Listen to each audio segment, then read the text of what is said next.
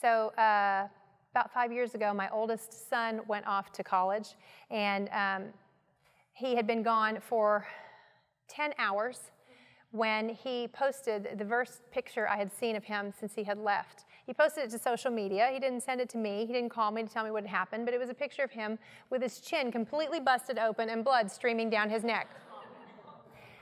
He had quite literally, within the first 10 hours we dropped him off at school, fallen on his face. no metaphor.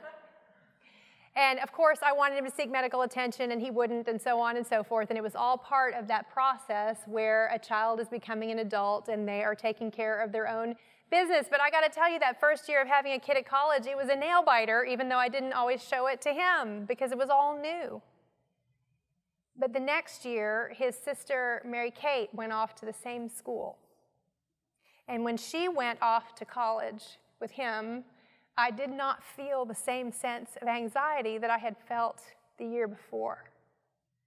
Why not? Because her brother had gone before her. And I knew not just that he knew where she could buy her books or he knew where she could eat her lunch, not just that he knew the mechanics of what it was to be at school with her, but I also knew that he cherished her and he treasured her, that he had familial relationship with her. He was sympathetic, he was strong, he was available, he cherished her. How much more? Christ, our brother,